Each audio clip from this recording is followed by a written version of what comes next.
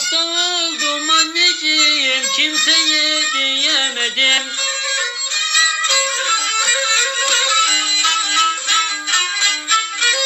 Doktor ameliyat dedi bir karar veremedim.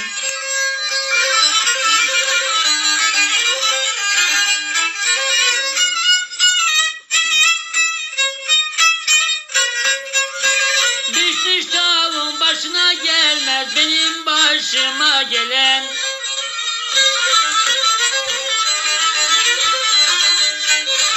Çok teşekkür ederim de Hüsamettin Bey'den.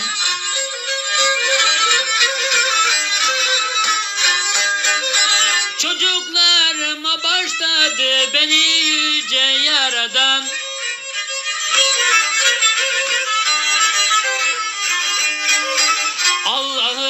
razı olsun da beni arayan dostlardan.